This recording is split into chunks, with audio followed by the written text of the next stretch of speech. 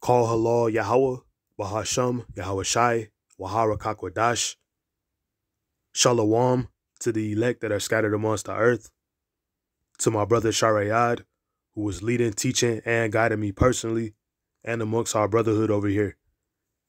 Peace and many blessings to you brothers that I personally labor with, to all you true believers of the Israelite nation.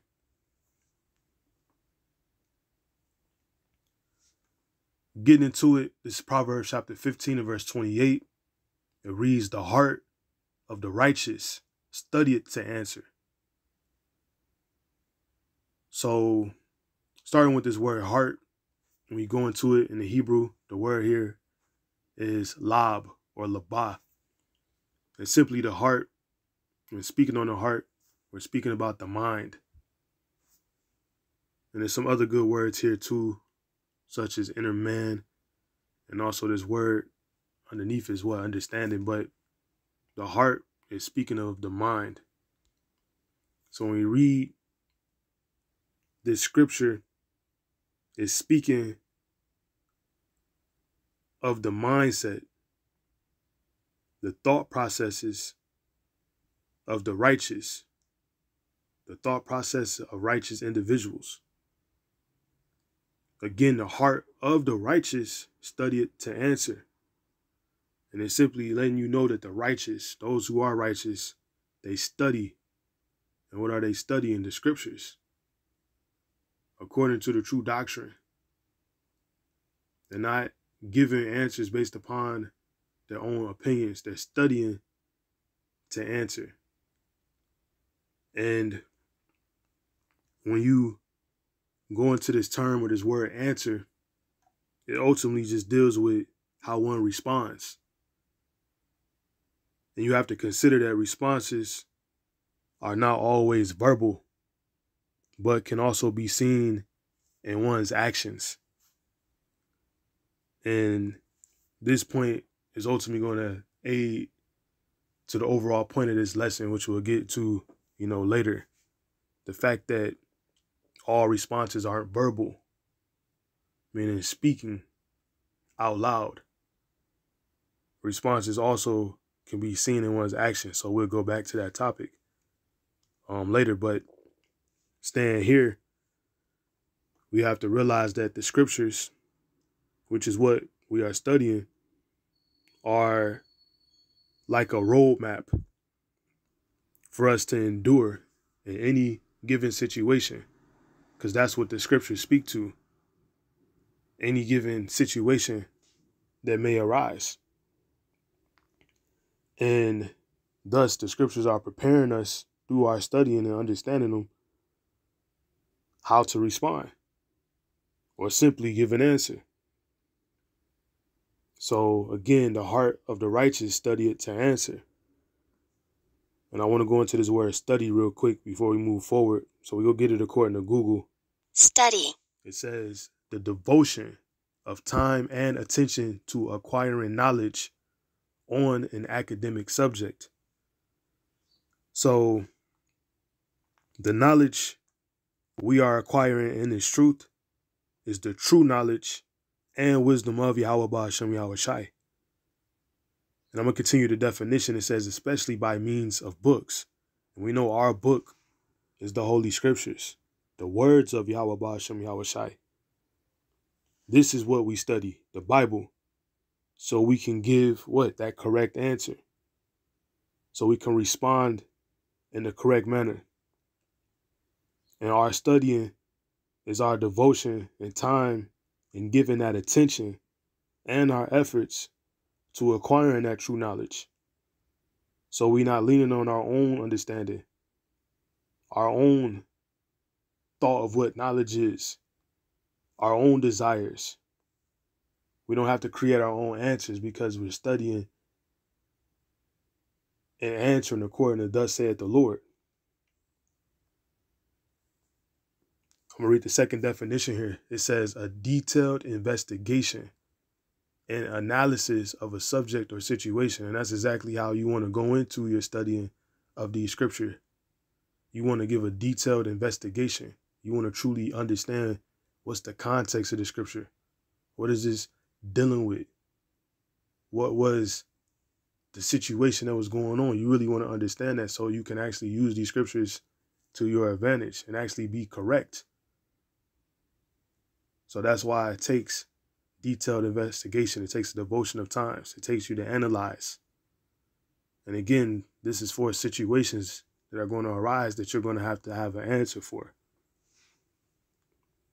So hopping back to the scriptures, Proverbs 15 to 28, the heart of the righteous studieth to answer. So let's do this. We will come to the book of Second Timothy 2 and verse 15. And it reads, Study, again, study to shew thyself approved unto God. So we ultimately are studying to be approved of the Heavenly Father. We're studying His words, His knowledge, His wisdom, so we can be correct at all times. Again, not leaning on our own understanding. Again, not for personal glory, not to be pleasing men, not to look cool, you know, because this isn't of men, but of pleasing the Creator. I'm going to continue reading the scripture, though. It says, A workman that needed not be ashamed. A workman's desire should be to do his job correctly. Therefore, we're trying to learn our measure. We're trying to figure out a lot so we can actually do it, so we can fulfill it efficiently and on a high level. So it takes time and effort. It's a growing process. It takes learning. It's not going to happen overnight. You're not going to know everything in a day, in a year, in two years. And ultimately, things are just going to get deeper and deeper. You can't go far enough when seeking out the Lord. So it goes into you paying attention to details to get it right. Again, not according to your own agenda. It's about humility, humbleness, you know, being meek, you know, being broken down, knowing you don't know nothing, allowing yourself to be in a position, you know, to learn, to be built up.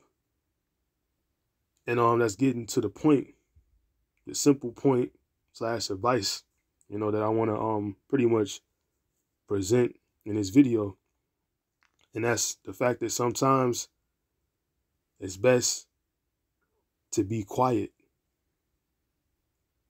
Because when you're being quiet, you're able to listen, you're able to learn, you're in a position of studying because studying doesn't always have to do with your nose being in the book. Sometimes studying is you looking outwardly, looking at those around you, listening to men who do know, who, who do have answers, analyzing who don't have answers, taking time to examine yourself, to realize where you are, where you're not at, what needs to be improved, so on and so forth, these type of things. So sometimes it's best to be quiet to just shut up and be prepared to listen because listening is a skill. And listening is a great skill for you to study because, again, you're studying to show yourself approved unto the Heavenly Father. Continuing the scripture, it says, rightly dividing the word of truth. That's a requirement. You have to rightly divide the words of truth. And these scriptures have meaning, they deal with specific matters. You are studying to gain understanding of what's already written, what's already been written, and has already had a purpose and a reason for it to be written. That's what you're listening for. That's what you're trying to understand. You're not reading to give your own um you know thoughts on what's going on or to even create that. They're not to be taken and twisted to create narratives that support your agenda or desires to exalt your group or yourself. You don't go into the scriptures like I'm a, you know, going to the scripture and explaining it in a way because this is how I desire things to be presented, or this how I would like to be heard, you know, so on and so forth. Because this is what goes on to happen to those who just pick up the scriptures and they're not putting that time in to truly understand and to learn them. And to actually get the understanding people who are constantly speaking and talking and not taking the time to be quiet and learning of those who do know. Because that's just not how I work. You are to be rightly dividing the words of truth. So again, you study to shew thyself approved. And that's going right back to us giving diligence and seeking these scriptures to attain the knowledge, which takes for you to study, which sometimes takes for you to listen, even if it's something you haven't heard of before, even if something you may firstly disagree with because you thought you knew it. That's why it's better to be quiet sometimes and listen and take time to study. Even if you don't agree, take that time to go back and study so you can disagree later if that's how you're going to go. Why? Because you want to give the correct answer. That's why you're studying to answer. And again, sometimes that's just shutting up and giving ear to those who are bringing these scriptures out in spirit and in truth those who are rightly dividing the words of truth. You know, that could be a way to go. And that'd be very smart, especially if you don't know, especially if you haven't obtained, you know, to the point of being able to answer what, you know, has been presented to you at first, you know, at hand. So I'm going to hop back real quick to Proverbs chapter 15 and 28. It says, The heart of the righteous studieth to answer. So that's it. The righteous, they're going to study to give an answer. They know how to respond righteously because they put forth effort into knowing what thus said the Lord is. And to aid to my point, sometimes that's you putting your hand over your mouth, right? And taking a back seat. Continue reading though, it says, But the mouth of the wicked poureth out evil things. So the wicked, they're going to just open their mouth and they're going to speak on any topic with free course and not be considered rid of studying and actually knowing. You know? And evil things are things that are simply contrary to thus said Yahweh Bashem Yahweh Shai. So when you hear their answers or responses, you know, it's just not going to be accordingly. Therefore, you get men who claim to be doing a breakdown on a certain topic, but truly you know, just pushing an agenda. They pushing what they desire to be presented.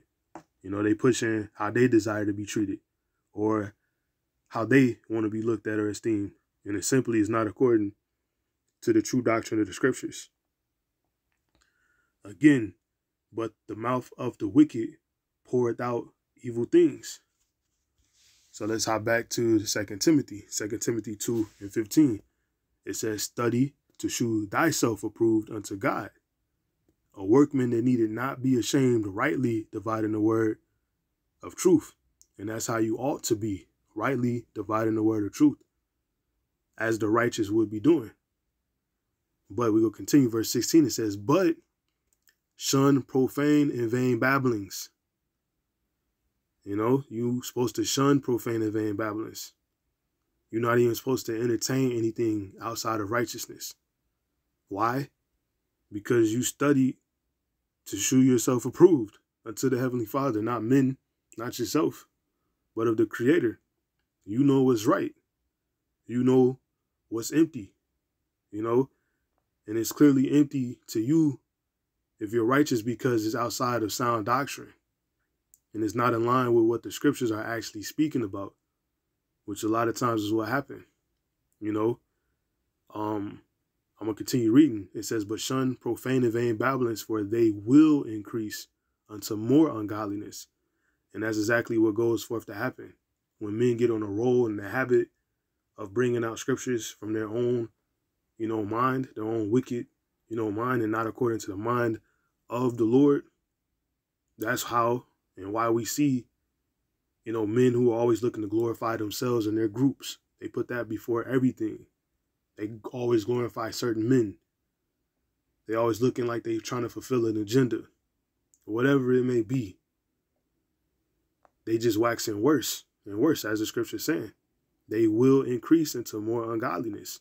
And it's clear to see, you know, that their situations are only increasing in unrighteousness and ungodliness. You know, they falling further and further away from the truth. You know, it become apparent to the righteous that they don't understand what's actually going on in real time. You know, that's what's being made clear.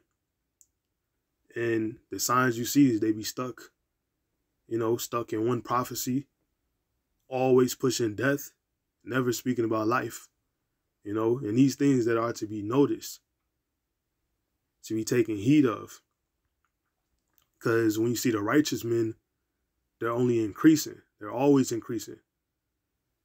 All right, they're going into new things that the heavens are revealing.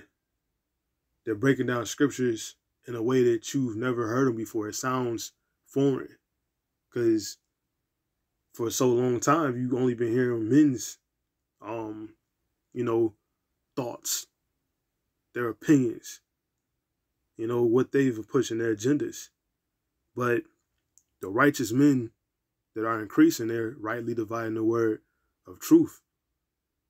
And ultimately, they're beginning to prosper. They're prospering in the word. New things are being revealed from the heavens. So, again, you know, as my warning, sometimes it's best to be quiet and to be listening. Listen to every godly discourse. Don't just write a man off because it doesn't sound um something familiar to you. Truly take heed to the process of you studying to show you you know, to show yourself approved and studying to give an answer. And again, studying sometimes deals with you listening. And then go back, go into the sword and try to disapprove it. You know? Because sometimes it's best, you know, to be quiet and listen instead of writing off things you may not, you know, understand just yet. And that's why you got to continue to study before you decide to give forth an answer or a response. Because ultimately, you can get yourself destroyed by giving the wrong response, that answer. So these are just things to consider. I'm just going to say, Lord, will you are edified. Call her law Yahweh Ba'ashem Yahweh Shai. Shalom.